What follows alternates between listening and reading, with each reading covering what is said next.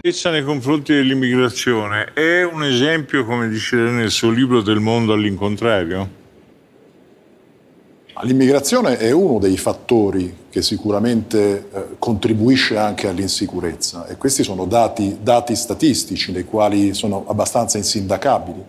È chiaro che quello che io scrivo nel mio libro è, è, è, quanto noi possiamo ancora consentire un'immigrazione incontrollata, perché alla fine lo spazio europeo ha dei limiti. Quanti saranno i prossimi? 10 milioni? 50 milioni? 100 milioni? E ne faccio anche un discorso di, di giustizia, no? Se è vero che rispettando i diritti dell'uomo dobbiamo aiutare chi ne ha bisogno, è giusto aprire le frontiere oggi nei confronti di tutti, sapendo che un domani dovremmo bloccare tutti?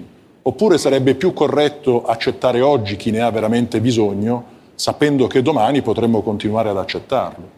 Quindi non vi è dubbio che attraverso l'immigrazione arrivano anche i fondamentalisti, ma è un anche, io non farei mai di tutta l'erba un fascio è, è sbagliato in qualsiasi settore.